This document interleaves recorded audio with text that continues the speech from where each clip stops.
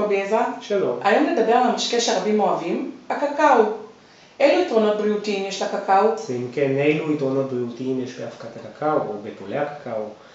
אז אה, בקקאו כמעט אה, ישנה כמות אה, כפולה של נוגדי חמצון בהשוואה ליין אדום ופי שלוש יותר מתה ירוק. כלומר שיש לו פעילות נוגדת חמצות מאוד טובה.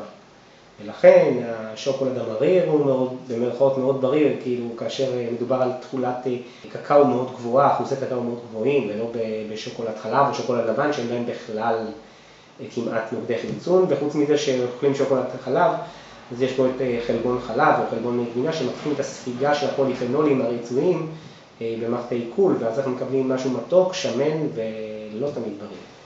אז האלקלואיד המהיר שנקרא תיאוברומין שמצוי בעצם בצמח הקקאו הוא בעצם מוליך עצבי בדומה לקפאין.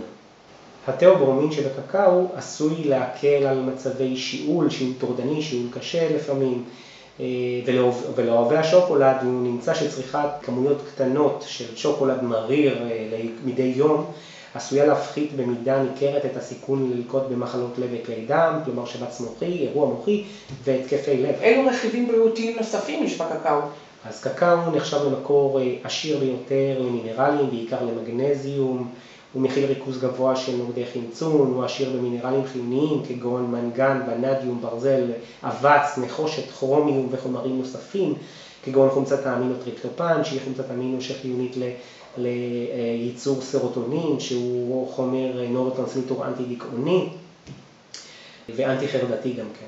אתם מוזמנים לשאול שאלות בתגובות. אהבתם את הקליפ? אז אנא עשו לנו לייק, ואם אתם רוצים להתעדכן, יירשמו לערוץ שלנו.